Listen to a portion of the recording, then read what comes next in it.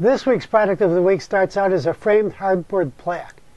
But what I'm showing you is one of these plaques made out to be a copy of a diploma. Now many people like to, or even have to, display their diplomas at work.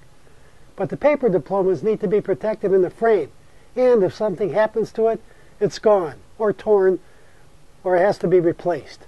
But this is a great solution. It's durable, and if something does happen to it, you still have the original.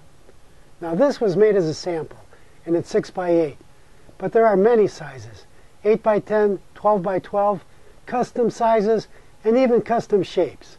It makes a great gift for the graduate starting out on a job or even for yourself.